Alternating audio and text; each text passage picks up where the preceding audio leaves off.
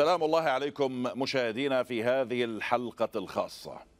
منذ الأشهر الأولى لاندلاع الأحداث في سوريا في ربيع عام 2011 كان الجنوب السوري الجغرافيا الأكثر عرضة للاستهداف لكونه ملاصقا لحدود فلسطين المحتلة. كانت فوضى السلاح وتدفق المسلحين في عموم سوريا فرصة سانحة لإسرائيل كي تمد يدها عبر الحدود لتغيير حقائق الأرض فيها.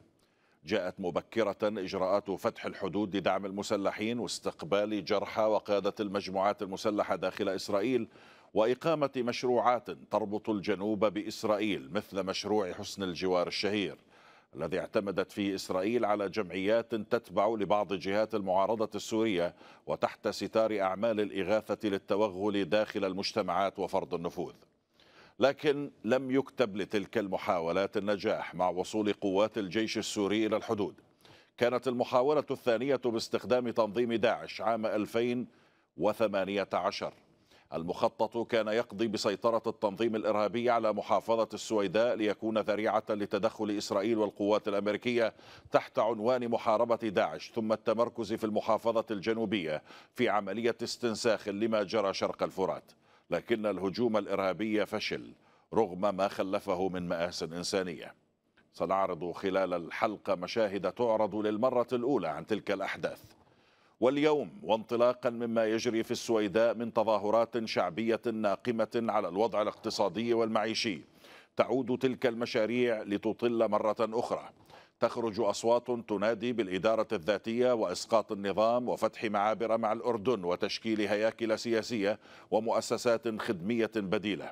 وتبدأ اتصالات من أعضاء في الكونغرس ومسؤولين أمريكيين وبيانات أمريكية تشجع على التصعيد.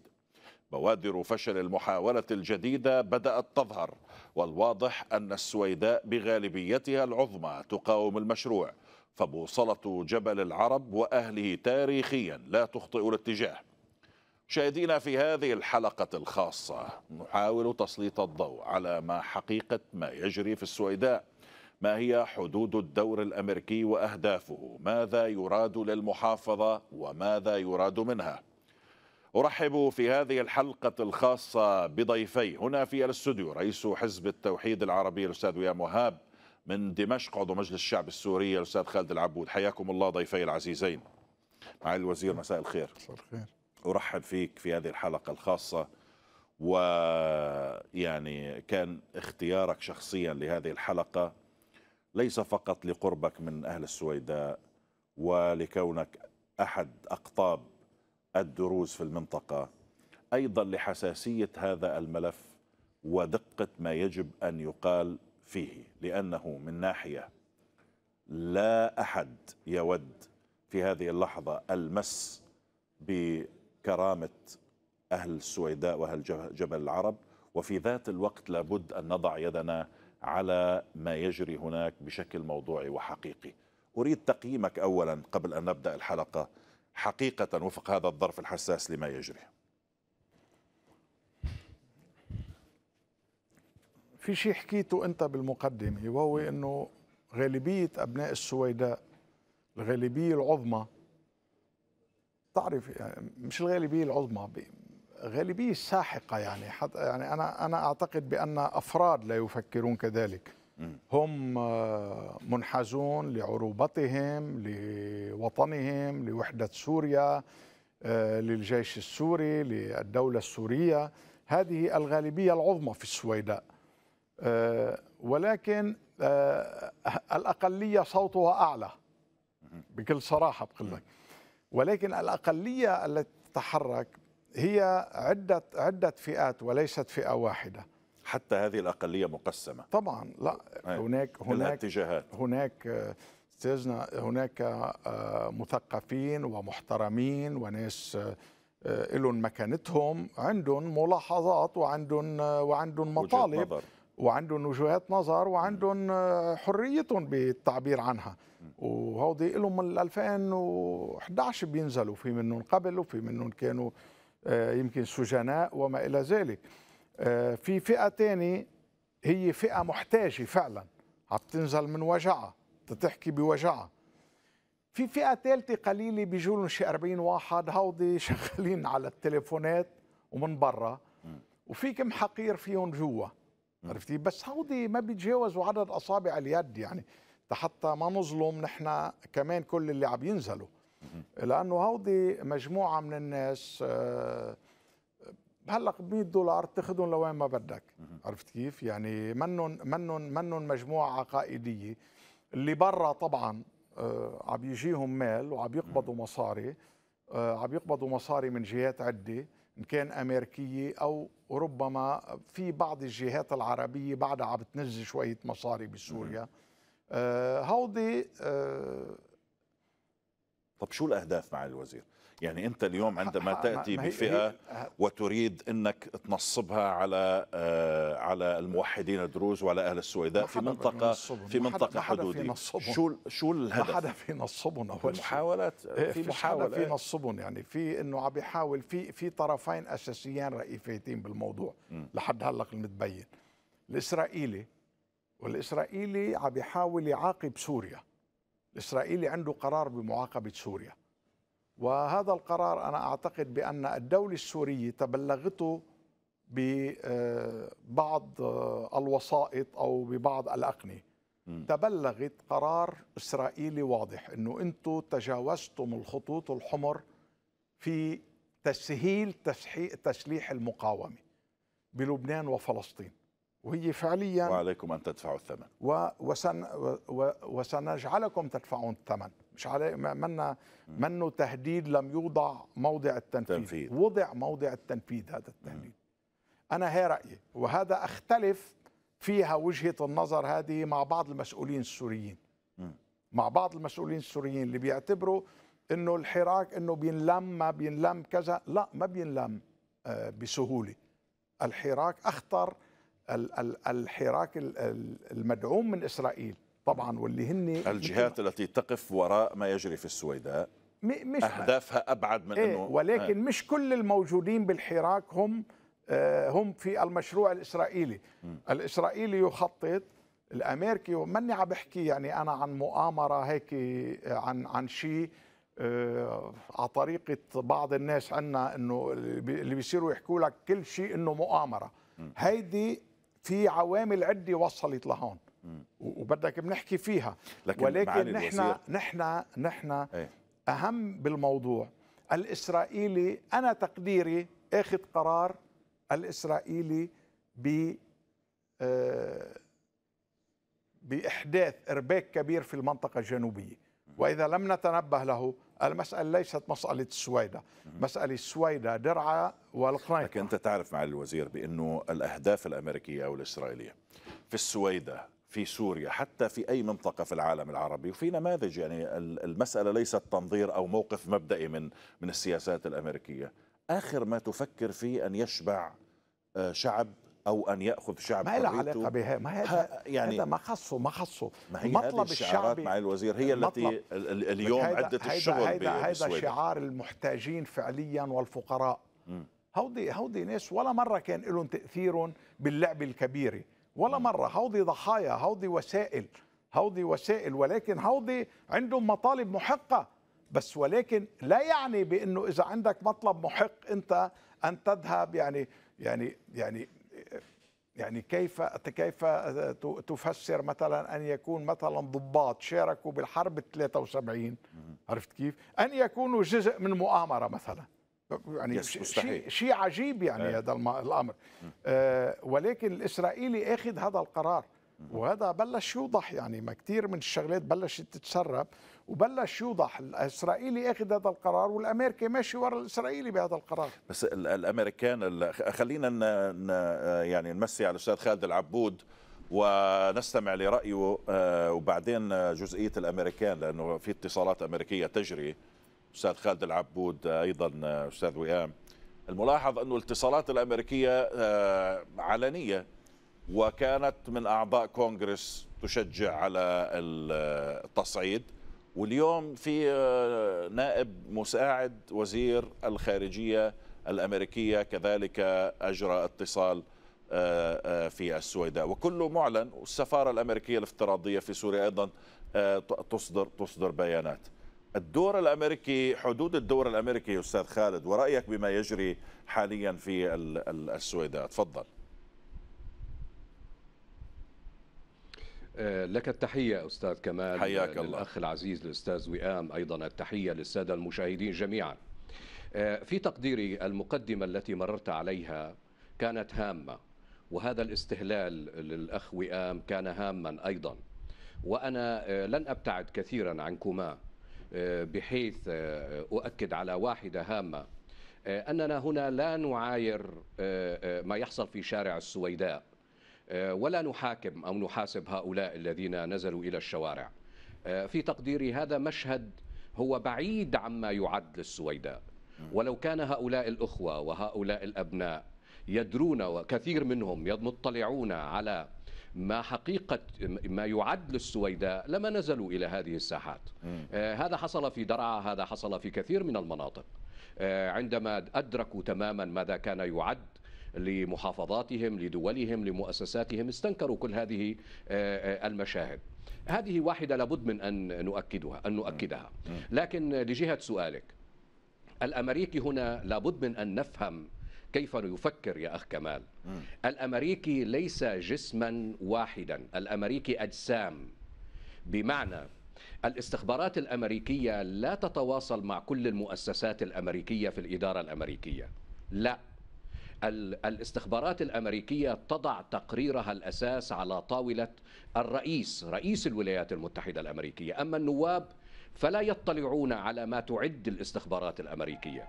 لهذا في تقديرنا إنه يجب أن لا نستدل على حقيقة ما يحصل في السويداء من خلال اتصال لنائب أمريكي وهو هام على فكرة وذو دلالة هامة جدا أو لمعاون وزير الخارجية أو لبيان من هنا وهناك. لكن السؤال الكبير لماذا لم يتصل نائب روسي أو أو صيني؟ ولماذا لم يتصل على سبيل المثال مثلا معاون وزير الخارجية الروسي أو الصيني أو أي أي نائب عربي؟ هذا يدلل مباشرة على جوهر المسألة على جوهر ما يعد السويداء. أنت وأنت تعد قبل قليل أو أنت تمر على هذه المقدمة نحن في تقديرنا وكنا ننبه وأعتقد بأن إخوانا لك شاركونا هذا التنبيه لجهة ما يعد السويداء. ما يعد السويداء هو إسرائيلي كما يقول الأخ وئام. نعم صحيح. إسرائيلي بالدرجة الأولى أمريكي بالدرجة الثانية. ونعتقد بأن هناك هذا يجب أن ننتبه له أحسنتم في الميادين. أنا من شهر تقريبا بعد أيام معدودات على ما حصل في السويداء خرجت وأعتقد من خلالك وقلت جملة قلت بأن هذا الحريق في السويداء الذي سوف آه، يكبر هو جزء من سلسلة من خط نار يمتد من أقصى شمال شرق سوريا مع الحدود الأردنية إلى أقصى الشرق الجنوبي أو الغرب الجنوبي مع فلسطين المحتلة. الولايات المتحدة الأمريكية في قلب هذه السلسلة في قلب خط النار إن كان مع حدود العراق إن كان في السويداء إن كان في الفوضى المدروسة التي تحصل في القنيطرة وفي آه، آه، درعا. لكن السؤال الكبير لماذا كل ذلك؟ لماذا هذا الأمر؟ أنا أختلف هنا مع أخي وئام لجهة عقاب سوريا لا أنا باعتقادي في شيء أعمق أيضا. في شيء أعمق من عقاب سوريا. يا صديقي يتخيل ويت يعني يتصور الأمريكي والإسرائيلي أن الإيراني وأن سوريا وحزب الله أصبحوا على مرمى حجر من الأراضي الفلسطينية المحتلة. فلذلك من أين بالضبط؟ من الجبهة هذا الخط الجنوبي الخط الذي وصفته لك من السويداء باتجاه أقصى جنوب غرب سوريا مع فلسطين المحتلة. يعتقدون أن الدولة السورية وأن الرئيس بشار الأسد إذا وصل إلى هذه الجغرافيا وأمن استقرارها هذا يعني بأن سلاح المقاومة وسلاح الجيش العربي السوري أصبح على أسوار القدس. وهذا ما ترفضه أو يرفضه كيان بس في في أستاذ خالد. يحاول أستاذ خالد. أخ خالد إيه بس هون بين هلالين إيه. بدي أقول لك غير موجود حزب الله والإيراني في السويداء أو درعا. انت أنت تعرف ذلك أو بالقنيطرة. غير موجود. آه. ومنذ سنوات غير موجود. اخ وئام وأنت تعرف ماذا حصل طبعًا طبعًا. لأنه أصبح غير موجود. يعني هذا غير موجود يعني يعني في تماماً. هذه المناطق. لكن أنا بدي بس بس أنا في أنا في أقول مسألة أنا بس- أقول إيه. هون لأنه أنا أتفق معه بالموضوع مش مختلفين. آه اللي عم بيقوله الأستاذ خالد. هو صحيح هو ما هو ما هو الإسرائيلي محمل الرئيس الأسد. شو يعني محمل الرئيس الأسد إنه هذه أي القوات واصل هذه القوات واصل تشكل رسائل خطر. إسرائيلية لسوريا إنه حزب الله كان أوقات يحتاج البارودي والرصاصة منذ 20 سنة مثلا أو 25 سنة وقد لا يحصل عليها. الآن حزب الله حصل على كل شيء. الإسرائيلي فجأة وهذا هذا أساسي اليوم عم بالمفاوضات الإسرائيلي فجأة صحى و آه، له حسب معلوماتي إن حزب الله قام بعملية تضليل كبيرة إن كان في المطارات السورية أو على الأراضي السورية ولكنه أوصل الصواريخ الدقيقة إلى لبنان وأصبح يصنع مثل هذه الصواريخ الدقيقة في لبنان. هذا هذا أمر مهم. طيب أنا بس وهو يعتبر إيه. إنه الرئيس الأسد يتحمل مسؤولية كبيرة بما يحصل في الضفة اليوم وما يحصل في في آه، اليوم أنت المعركة داخل فلسطين 48 يعني الإسرائيلي إذا بتفوت على أنت ترجماته بس اللي عم يحكيها. اليوم أنت حزب الله إذا قرر وأنا هذا يعني بعرفه من يعني يعني أنا أعرف ماذا القر... يعني, يعني ناقشت هذه القدرات مع سماحة السيد مؤخرا. و ويعني لن أتحدث بها ولكن أنا مطمئن بأن الحزب قادر على إيلام إسرائيل بشكل كبير. ما بدي أقول أكثر من هيك. عرفت كيف؟ ولكن هو بيحمل الاسرائيلي أستاذ خالد الرئيس الأسد مسؤولية كبيرة في يعني ذلك. تاكيدا لهذا لذلك الكلام مع بدأ الوزير. في تقارير- المضادة. في تقارير تقول بأن السلاح الذي يستعمل الآن في الضفة الغربية دخل عبر الحدود الجنوبية السورية إلى الأردن ومنها إلى الضفة. شو بعرفني منين فات؟ بعرف وصل أي. بس منين فات؟ هذا طبعاً. أحد أسباب ما يجري حاليا في ثلاث الجنوب. أرباع جنودهم ما ثلاث أرباع جنود الجيش الإسرائيلي ما صارت معروفة بترشيهم بال بالكوكايين الثابت مع الوزير وبال- أن في سلاح يدخل والحشيشه أن في سلاح يدخل إلى الضفه من الأردن. هذا هذا ثابت. لكن إن كان عبر الحدود الجنوبية السورية أو لا هذا ك- هذا يحتاج وصلوا سؤال. بالاخير بالاخير بالأخير في مئات العبوات داخل فلسطين 48 بالأخير هي الواقع والإسرائيلي عارفه. عرفت كيف؟ ولا لكن في. بس بس إذا سمحت لي سمحت لي أستاذ خالد. يعني حضرتك والأستاذ وئام آه، في اتفاق على مسألة أن إسرائيل اولا ثم الأهداف أمريكية لخدمة إسرائيل ثانيا. وهذا. يمكن يمكن هذا المشروع قديم. يعني لما بدأت الأحداث في 2011 مسألة السيطرة على الجنوب والمنطقة العازلة والى آخره وبعدين داعش بال 2018 مثل ما حنشوف بعد شوي بالفيديو. لكن بعد زيارة الرئيس الأسد إلى الصين في تقارير أستاذ وئام قالت بأنه لا القصة أمريكية وليست إسرائيلية ولها علاقة بشكل مباشر بالممر الاقتصادي الصيني الذي يمر من سوريا.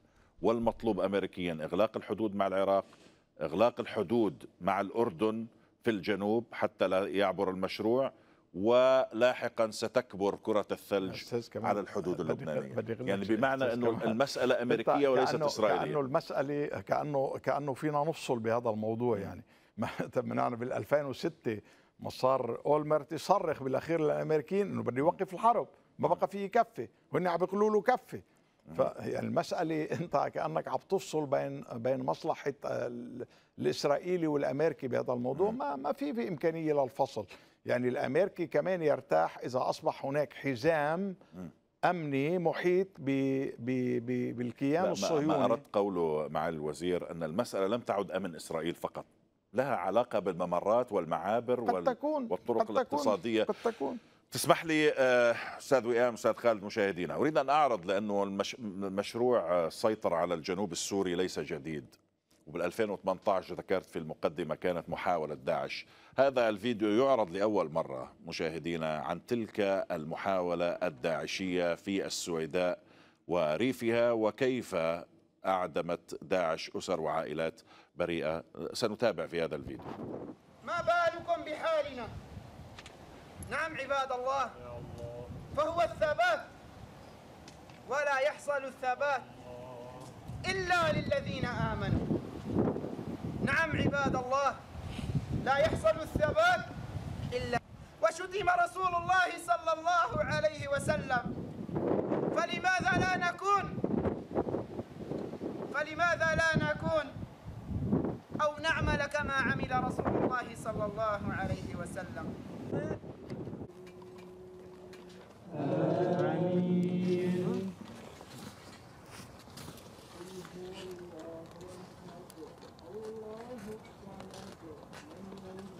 فلذلك أوصيكم يا أخواني النية النية. نيتنا هي أن نحكم شرع الله في هذه الأرض الذي اشتد فيها الكفر. فأخواني شدوا غل اغلظوا في الكفار. لا ت... لا يجدوا فيكم رحمة. سواء رجالا أو نساء. أخواني أوصيكم بتقوى الله. أوصيكم بتقوى الله.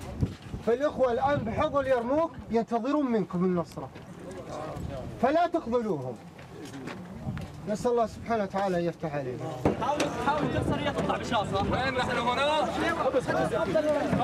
في خبز ترى هنا.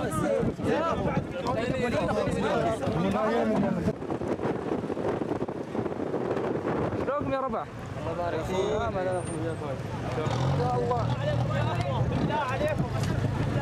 الاخوه جايين وراكم دفعة ثانية. يعني الصوت منكم راح تحرقوا عمل الأخوة اللي وراكم. خلينا بإذن الله نفوت المدن ونمكن فيها. تمام؟ ولا صوت بالله عليكم ذكر الله بس.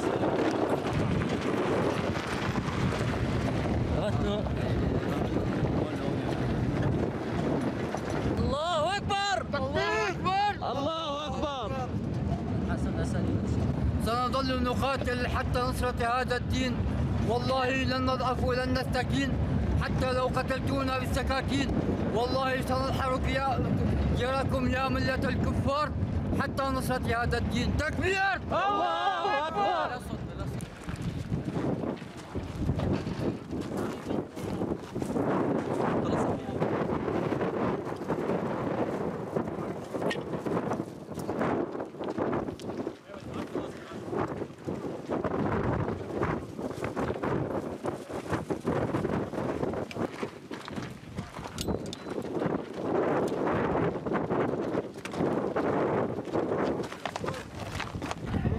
عليه.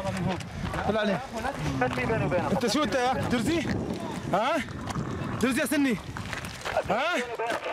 يلا يلا امشوا امشوا. يلا. لا توقفوا لا توقفوا يلا لا توقفوا الله أكبر لعزة يلا يا أخوي الله يلا. يلا امشوا الله يلا. أكبر. تم القضاء على نجس. نجس. الله أكبر. الله أكبر. أجهز أجهز عليه أخي. أجهز عليه. أجهز عليه طلقات أجهز عليه بطلقة أخي. الله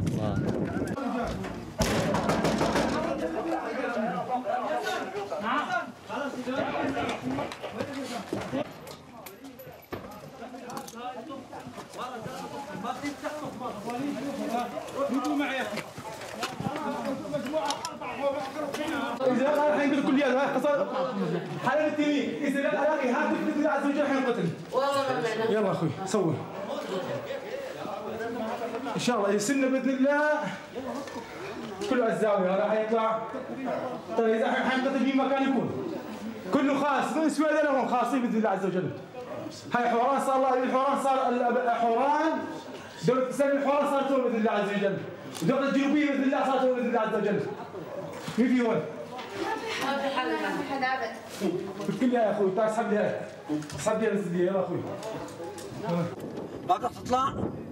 حنقوصها هعدي ثلاثة واحد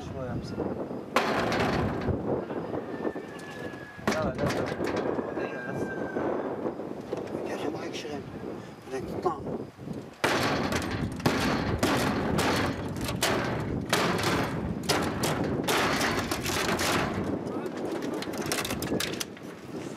لا ما عم ترد ليش؟ اترك ولا لا خليه يجي يصفر تعال لا ما بفتح خليه يصفر ما بدك ترد؟ طلع باب ثاني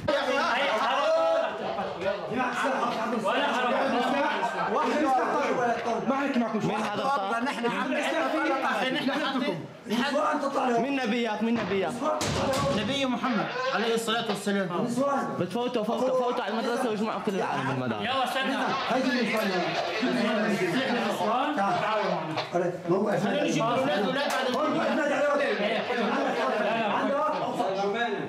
جمانة. عيط يا اما يا إمي. عيط إحنا عاملين بدك تطلعوا جيبوا الاولاد وطلعوا لهون عود هنيك يلا عود هنيك عود هنيك نعم نعم أبو حماد. عود عندك.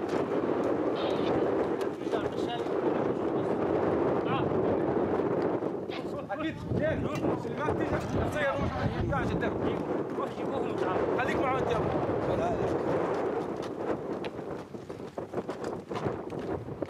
الله أكبر. الله أكبر. تم سيطرة المجاهدين على منطقة تشبكة على قرية تشبكة الله أكبر. لله الحمد والمنة. الله أكبر. تم تحرير شبكة في الكامل. الله أكبر. قولوا لا إله إلا الله اطلعوا مع الشباب. قالوا لنا نحن معكم ذكروهم للشباب نحن معنا يا أخي. تسلح البيت يلا الكل الكل الكل يلبس يلا نزل يلا. عشان ما في سلاح يطلع طلع. في سلاح طلع عشان ما يصير شيء. طلع طلع. يا أخي ما شافوا الرجال نايم الله يرضى عليكم. فوت فوت فوت فوت واحد فوت واحد وراه. أنا وغير معنا. خلاص. ارفع سلاح بيدك.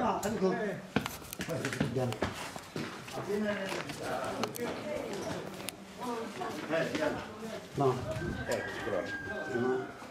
وجوالا ها؟ جوالا. جوالا صير صير صير هذا شوف. لا لا لا درع انت درزي انت؟ كنا دوس خي شوفنا نفرق عليك إسلام كنا إسلام ها؟ شو انت درزي مو؟ قلنا إسلام يا حبيبي. يلا بفيا أبو وليد. هات درزي هات. خذوه قاعد هنيك خلاص. ما يصير. صلي عليه. هاي من هون لا لا للشام للسويد لا درع كنا أخوان كنا طلع طلع طلع لي السلاح اللي عندك هاي البيوت كلها درزية مو؟ كلها البيوت هون دروز. أخي معك من هون لدرعا تمام. للشام تمام. لحدود دير الأردن إيه. كل هذه ولاد العم. تمام دروز. كلها. كلها دروز. وأنت درزي مو؟ يعني؟ أنت درزي؟ أنا كلنا دروز يا بي. انت أنت مين نبيك؟ ها؟ مين نبيك. نبينا محمد مثلنا مثلكم يا. رب العالمين.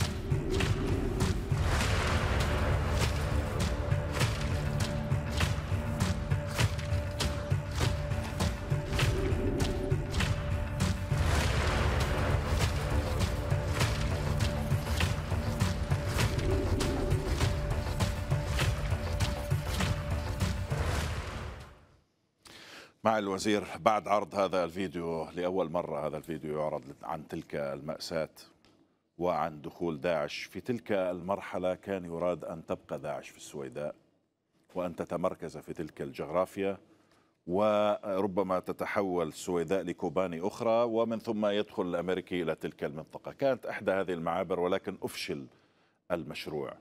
المشروع اليوم بهذه الخطورة بتقديرك؟ لا أنا رأيي أخطر. أخطر من تلك المرحلة. مم. أخطر من تلك المرحلة لأنه وقتها كانت السويداء موحدة في مواجهة داعش. وأفشلت المشروع. ووقفت السويداء كلها آه، وراء الجيش العربي السوري وتم إفشال المشروع وتم آه، عاد الجيش السوري آه، احتل طلول صفا. يومها وأنهى يوم دخلوا للمدينة كمان مع الوزير. إيه. صار في تفجيرات داخل طبعا مدينة طبعا السويداء. طبعا ف آه، ويوم دخل وأنهى كل جذور داعش في المنطقة خاصة بعد معارك طلول الصفا وراء عشرات الشهداء صحيح. من الجيش السوري. آه، لا اليوم مرحلة أخطر أخطر بكثير رأيي. أنا هي رأيي. أخطر من 2018 أنا أنا هي رأيي. أخطر من 2011 حتى. وإفشالها سيكلف كما كلف 2018 و2011 حسب حسب وين بده يروح المشروع. هلا اليوم أنت السويدة في- مقاومة من داخل السويدة للمشروع. السويدة في انقسام أي. اليوم. هناك تقريبا 80% بمكان وفي يمكن 20% افترض بمكان أنا أو أقل.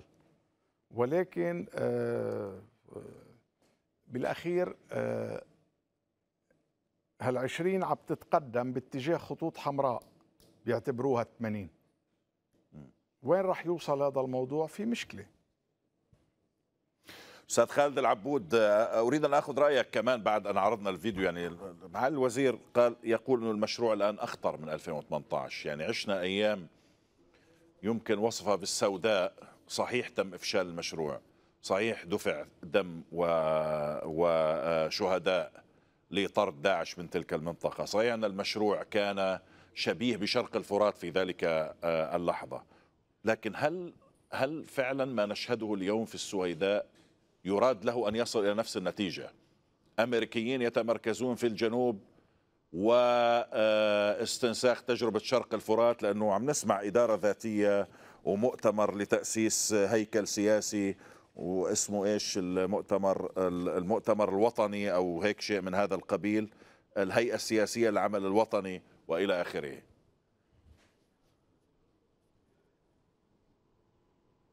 في تقديري أخي كمال كلام الأستاذ وئام صحيح. ما هذه اللحظات أخطر من تلك اللحظات التي مر عليها آه، الفيديو قبل قليل. ولو أنه هام ومؤشر وذو آه، دلالة كبيرة. آه، لاحظ كنا نأخذ على هؤلاء الرعاع على هؤلاء المنفلتين آه، الذين هم جزء من أداة أمريكية في المنطقة من أجل إعادة إنتاج آه، آه، دولة الطوائف إن صح التعبير. آه، آه، هذا الرجل الكريم الذي سأله قال له أنت درزي رد عليه قال له كل هذه البلاد دروز بمعنى أو بآخر. صحيح. اليوم ما نسمعه في السويداء وما نراه في السويداء آه، هو مخالف لرد هذا الرجل الكريم. آه، وهو أن هناك راية طائفية. ولو أن هناك علم انتداب ولو أن هناك تواصل مع الأمريكي ذاته. إذا أنا أميل إلى القول بأن ما يحصل اليوم في السويداء هو أكثر خطورة. حتى آه، اللغة أستاذ خالد أن أؤكد على واحدة. اللغة التي سمعناها في الفيديو من من عناصر داعش الإرهابيين أنت سني أم درزي؟ من نبيك؟ يعني يعني و و تماماً. يعني تماماً. هذه لا لا أنا هذه اللغة التي كأنه أريد يعني أن أن لا كأنه الدروز عنده النبي خاص فيهم إيه. يعني شو الدروز يعني؟ يعني يعني شو؟ كل يوم بدك تردد الشهادتين وكل يوم بدك ما هو هذا لا، هذا ما يراد لسوريا لا أن تذهب له مع لا الوزير بيعرفوا كيف بنصلي لا بنعرفوا كيف. بنتجوز نحن مسلمين خيي وعلى المذهب الشافعي كمان. يعني مش إنه يعني هلأ عندنا بعض تنظيرات كثيره ولكن هلا ما تاخذني لأن تأثرت بالفيديو. أنا كمان شوي أربكت لأنه آه، أثر في المشهد صادم لا شك. صادم صادم لا شك صادم. آه ما بعرف أكيد الشيخ استشهد يعني هذا يعني آه، تم إعدام. است- تم اعدامه ف آه، أستاذ كمال. بس بس ثواني. خلص ياخذ عني. تفضل أستاذ خالد تفضل. أنا أقدر للأخ وئام آه، هذا الموقف وأفهمه جيدا. أفهمه جيدا في عمقه آه، وهذا لا يخص فقط إخوة لنا في هذا الوطن أو جغرافيا محددة. هذا يخصنا جميعا. ليس حتى فقط على مستوى الداخل السوري. لا يهمنا نحن حتى على المستوى الإنساني أن نرى مثل هذا الخطاب في تقديرنا. آه، لكن أنا أعود وأؤكد بأنه آه، قبل هذا العرض آه، أنا قلت عبارة قلت عبارة يعتقد الإسرائيلي يعتقد الإسرائيلي. نحن لا نقول بأن آه، إيران أو حزب الله وأنا أتمنى أن تكون إيران وحزب الله قد وصلت إلى هذه الجغرافيا ونسقت مع الجيش العربي السوري وتقدمت على أسوار وحدود حدود فلسطين المحتلة. أنا شخصيا أتمنى ذلك. لكن قلت بأن الأمريكي والإسرائيلي يتصوران بأن آه، هناك خارطة عسكرية تم إنتاجها آه، لجهة توحيد آه، الخارطة الميدانية لحزب الله وإيران وسوريا. وهنا المفارقة يا أخ كمال والحقيقة هذه موجعة. لذلك أنا آه، أميل وأؤكد ثانية أن ما نمر به الآن هو أخطر مما عرض في الفيديو. لماذا؟ لأنه لاحظ مثلا هذه المجموعات المنفلتة آه، الغبية آه، عادت كي تؤكد على واحدة آه، لا إيران ولا حزب الله. ولاحظ اليوم للأسف بعض المنفلتين أيضا في جغرافيا من أهلنا من ربعنا من عزوتنا يرددون ذات الشعارات.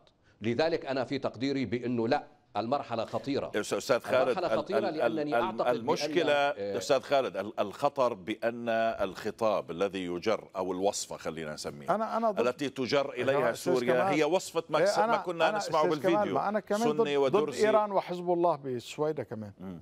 ما لهم شغل فوق. يعني أصلا ما طلعوا. ما, لهم شغل. يعني إحنا ضدهم كمان بالسويدة أه تكفي أستاذ كمان ال- ال- الوصفة أستاذ خالد أستاذ خالد آه، العبود. لا، طبعاً. وصفة وصفة طبعاً، وصفة المصير. آسف، يعني آسف، تقسيم تقسيم سوريا اليوم إلى دروز إلى سنة إلى علويين. طيب جغرافيا و- أو أو طائفيا. طيب هذا ما بيشبه الكلام اللي سمعناه من الفيديو بالمناسبة. هذه كاميرات داعش. يعني يعني هذا سحب من من كاميرات تماماً، ل- تماماً. للتنظيم الإرهابي هو صورها بنفسه. واضحة إنه أنا أنا في تقديري أنا في تقديري أخي كمال وآسف جدا آم، آه، طبعا عندما يقول الأخ وئام طبعا وأنا ضد حزب الله أن يدخل السويداء وأن يدخل وأن تدخل إيران كقوة عسكرية إلى السويداء. ماذا تفعل في السويداء؟ لكن أنا أقول بأنه حتى الجيش العربي السوري ماذا لماذا يدخل إلى السويداء؟ لماذا يدخل إلى درعا على سبيل المثال؟ لماذا يدخل إلى دمشق؟ إذا هذه هذه وصفة صحيحة.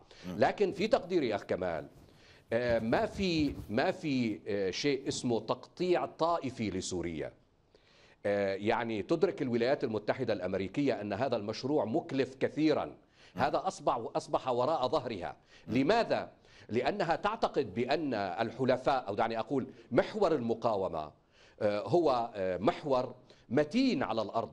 وأن هناك جمهورا إلى جانبه ناصره ووقف إلى جانبه من كل الأحزاب من كل التيارات من كل الجغرافيات على مستوى المنطقة وبالتالي لا يمكن تقسيم الدولة. لكن الذي يحصل اليوم هو دعني أقول إشعال فتيل الفوضى من جديد في الجنوب فتيل فوضى فقط.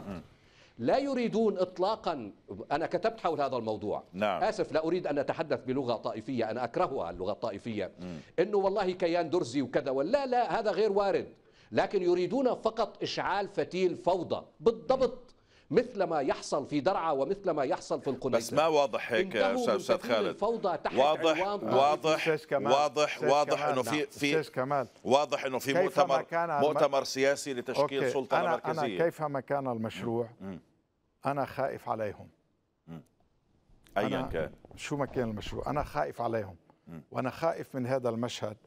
نعم. مش يتكرر نعم. يتكرر بأوجه تاني هذا المشهد. أنا خائف عليهم. وليس و... كثار من السافلين سيشتموني اليوم. وكثار من اللي عم يقبضوا ثمن الشتيمة سيشتموني. ولكن سيتذكروني بعد سنوات. ويقولوا هذا الرجل كان على حق. وكان هدفه حمايتنا وليس هدفه شو شو يعني أنا شو عندي مشكلة إذا كان في مشروع آه، جدي جدي لا فخي لا لا لا استقلال مثلا. إذا سلطان باشا يعني أنا بشوف أكثر منه هو من قاد الثورة رأى بأن هذا مشروع الاستقلال هو مشروع نهاية للسويداء. راح باتجاه وحدة سوريا. وكان في يعمل دويلي وقتها. صحيح. كان في ما, ما في. أسهل منها وانعرضت عليه وما قبلها طيب اللي ما قبله سلطان الأطرش جاي كمتافه يحكونا إنه نقبله؟ والله العظيم أنا خايف عليكم. أنا شو لي مصلحة بالسويدة يا أنا مصلحتي وطنية وقومية بالسويدة. ما عندي مصلحة مباشرة. ما عندي مصلحة. يمكن يقولوا يا أخي خالد العبود عنده مصلحة مباشرة جار. يمكن يقولوا هذا درعاوي يا أخي عنده مصلحة مباشرة. أنا ما عنديش مصلحة مباشرة. مصلحتي المباشرة أن أحميهم. أن أمنعهم أمنع. قلة منهم من جرنا إلى الانتحار. لأن راح انتحر معهم كمان أنا. انتبه ما راح اتركهم. حتى إذا راحوا على الانتحار أنا راح أحمل المسؤولية كمان بالانتحار معهم. لذلك أقول لك هذا المشروع لن ينجح بالسويداء. لأنه الأكثرية معنا مع رأينا مع صوتنا والأقلية اللي بدها تحاول تاخذ الدروز إلى مشروع كيس رمل في مواجهة إسرائيل رح نقتلها ورح نهزمها وما رح نخليها. خليهم يسمعوا منيح. بس بس وما إلى- حدا يقول لي بكرة عم تحكي عن الحراك. ما خصش الحراك بهذا الموضوع. الحراك أداة. ما خصه باللي عم. يخطط. نحن أكثرية في السويداء. هذه القوى الوطنية أكثرية في السويداء والقوى القومية وستمنع هذا المشروع. طيب بالأخير معالي الوزير بدك حل للسويداء. يعني فلنفرض إنه في بدي حل، أكيد طيب هاي بدي حل. الأقلية اللي عم تتحدث عنها معالي الوزير هذه الأقلية ما كانت لتكون الآن يجب أن في تحاورها الدولة. في, في واجهة في واجهة الأحداث لو ما في مشكلة بالأساس في سوريا 100% وفي أنا عم بقول في مشكلة. ما, ما, نحن ما فصلناهم نحن. الأستاذ خالد يشاركني. في موظفين تافهين أكيد. في موظفين حرامية. في موظفين في وزراء حرامية. في فشل، في في مدراء في- حرامية. في في في ناس عمالي بيستغلوا وجع الناس. بس هذا لا يعني بأنه هذا بيشيلنا من عروبتنا وبيشيلنا من وحدة بلدنا وبيشيلنا من تاريخنا وبيشيلنا من مبادئنا. لا مش هيك الأمور. ما ما عندنا نحن عندنا مشكلة اجتماعية واقتصادية أكثر منهم. على الأقل هن بعد في مستشفى وفي مدرسة. نحن ما عندنا هالاثنين صحيح. بعد يعني كمان آه، هذا الموضوع هذا الموضوع يجب أن يكون هناك حوار مع الدولة ويجب أن تبادر الدولة إلى الحوار مع هذه الفئات بالنسبة للموضوع المطلبي. بس كان في محاولات أيضا أستاذ خالد آه، كان في محاولات للعبة الدم خلال الأسابيع الست أسابيع الماضية فشلت. كان في آه، هن بحاجة آه، لقتيل بحاجة في- آه، كان في محاولة. بحاجة لقتلى تماما. هن بحاجة نعم. هيدي مسألة كيف بحاجة كيف بحاجة ليشربوا المي بحاجة للقتيل بدهم خ- بدهم قتلى بدهم قتلى عرفتي؟ بدهم قتلى. للتصعيد. هن هي اللي لل- بدهم إياه. للتصعيد بس هذا بس ما ما أكيد الدولة ما راح تقتل حدا. أكيد الدولة ما راح تفوت الجيش ما راح تخلي الأمن يتدخل. رغم إنه كل المراكز موجودة بالمحافظة بعدها يعني. بالسويدة بقلب السويدة وبمحيطها. ولكن لا هن قربوا ولا هيدي المراكز قربت لهم ولكن أنا بقول إنه بالأخير هذا اللي عم بخطط لهم للحراك بعد ثلاث أربع أسابيع رح يعرف في ناس رح تمل. إذا ملت الناس رح يخترع لها شيء ثاني آه. خي مثل بدرعة إعادة الزخم ما أخرى. الأستاذ خالد بيعرف. ونحن بنعرف تاريخ تدخل حزب الله بسوريا. مش انه بنعرفه باليوم التاريخ. لما صاروا يقولوا حزب الله حزب الله كانوا هن بيعرف الأستاذ خالد مجموعة من الإسلاميين لابسين أسود وعم بيقوصوا على الناس. معروفة كانت. تعرف راح 600 أخي ما هي المشكلة إنه أوقات التاريخ آه، ما بيتأرخ مثل ما هو. تعرف رايح 600 آه، شرطي بسوريا قبل ما يسمحوا له للشرطي يحمل سلاح صحيح.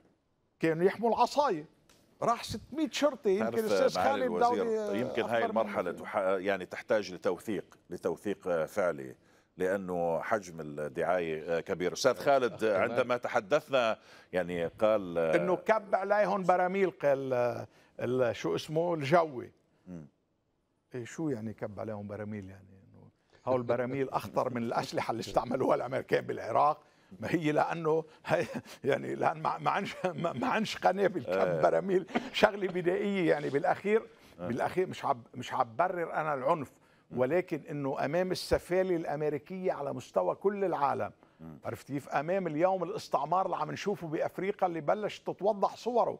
إنه دولة بتاخذ منا أنت اليورانيوم بتعمل عندك كهرباء ودولة بتعملش كهرباء اللي بتاخذ تسرق منا اليورانيوم أنت. يعني أمام كل هذا المشهد بعد في ناس يا أخي. أستاذ خالد المعالجة في نهاية المطاف مع وجود مخاطر حقيقية. آه، يعني حكينا عن مشاريع حكينا عن محاولة جر المحافظة لعبة الدم.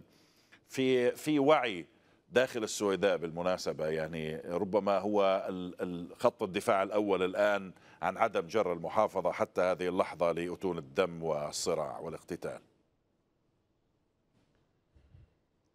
في يدنا أستاذ كمال آه، اداتان هامتان في الحقيقة في مواجهة هذا المشروع الذي يمر على حساب أهلنا في السويداء. الأداة الأولى انكفاء الدولة، نجحت الدولة في إدارة آه، هذا الانكفاء آه، آه، إدارة هامة جدا لم تتدخل لأنه كما حكى الأستاذ وئام هناك من ينتظر نقطة دم هناك من من ينتظر كي ينتقل إلى المرحلة التالية كي يأخذ ذريعة وتبرير في انتقاله إلى المرحلة التالية. والذي ذهلني شخصيا الأداة الثانية هي شرفاء أهل السويداء وهي الأغلبية في تقديري. ونحن في الأيام الأولى في الأيام الأولى تكون عادة يعني الشعوب مصابة بدوار وتؤخذ ببعض العناوين. لا لدينا كم هائل من الأخوة الذين سجلوا مواقف هامة لجهة فهم هذا المشروع الذي يمر في السويداء. تقول كيف يمكن أن نواجه نواجه بهاتين الأداتين؟ لابد من أن يتفوق لابد من أن يعبر عن رأيه. هذه الأغلبية الساحقة الموجودة في السويداء لابد أن لجهة تعب- أنا- كشف أنا من هذه رأي- أنا من هذا الرأي. تراجع وانقباض. وهذا ما لازم يكون. نعم. ما لازم يكون. لازم يتعبر عن رأيه. تقديري. امبارح الهيئة تمام. الروحية للطائفة الدرزية بالسويداء وهي أعلى مرجعية روحية.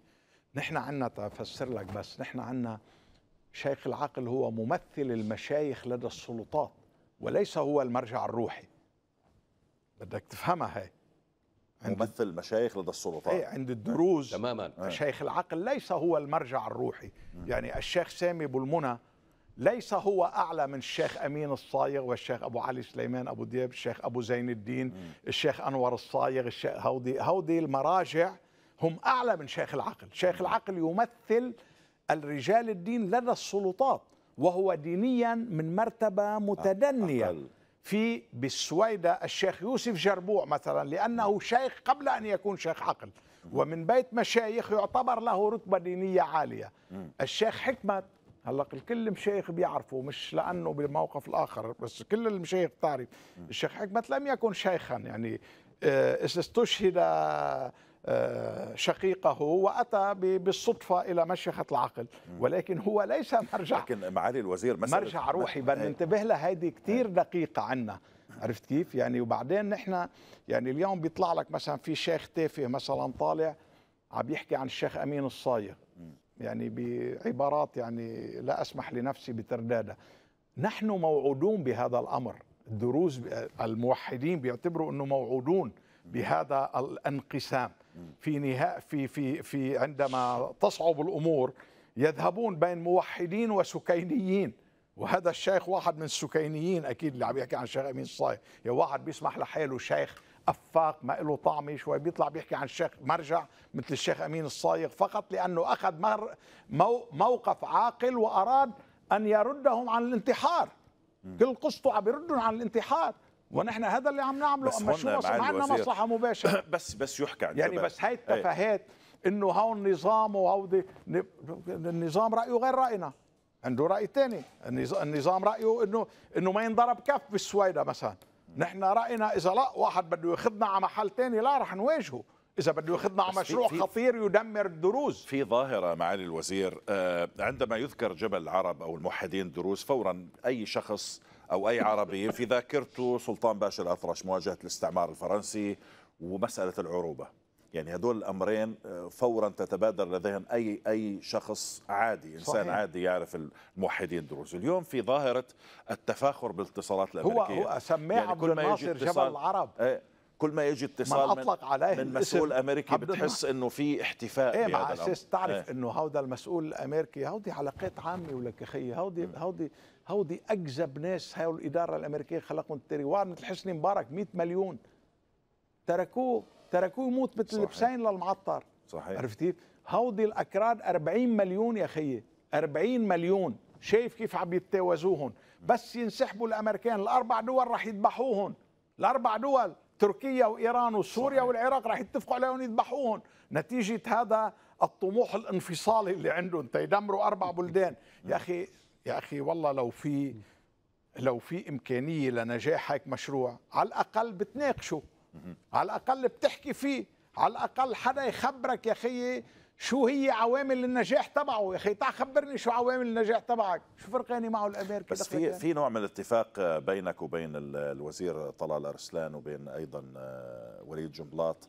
على العنوان ال- ال- العريض للسويد أنا رأيي رغم العنوان العريض-. ليك، لا، لأنه سمعنا لا، أيضا لا. وليد جنبلاط يحذر من طروحات وليد فارس ولا ومن طروحات ولا اليمين لا أنا ولا الامريكي الوزير طلال أرسلان ولا الوزير ولي جنبلاط ولا كل الحزب القومي ولا بيت الداود ولا كل القوى نقبل بأن نكون متراس لإسرائيل. الوزير جنبلاط بالموضوع العربي فعلا أنا حكي أنا وياه عدة مرات ما بيلعب. أنا يمكن لأول مرة بحكيها. مثلا هذا تبع شو اسمه حزب اللواء السوري. أنا من سنتين قال لي الوزير جنبلاط إلي. قال لي يا مع الموساد. إلي قال لي. هو خبرني مش حدا خبرني. قبل الانتخابات الماضية هلا الآن متصدر المشهد حزب اللواء هو قال لي قال لي هذا بيشتغل مع الموساد. أنا ما كنت أعرفه ما سامع باسمه كنت. عرفت كيف؟ قال لي هذا أبو الخير أو أبو الخير. قال لي هذا مع الموساد الإسرائيلي. كان هو عم بيتابع بيتابع ما بعرف بيتابعون التفاصيل. أنا مش سامع باسمه كنت يعني اليوم عم؟ يفتح مكاتب حزب اللواء السوري عم في- بقول لك. هذا هذا هذا هذا حكي حكي حكي ولي جنبلاط لإلي قبل الانتخابات. عرفت كيف؟ الأمر الثاني نحن بالموضوع العربي حتى ولي جملة ولا مرة بيلعب بموضوع العروبي الأخير. بيختلف مع هذه الدولة بيختلف مع هاي الدولة ك... هاي أوكي. عرفتي بس أما بالموضوع الأساسي أن يتحول الدروز إلى متاريس رمل لحماية الإسرائيلي ب- بالقنيطرة مش وارد. السويداء وكذا هذا مشروع مش بس مش وارد رح نقاتله كلنا.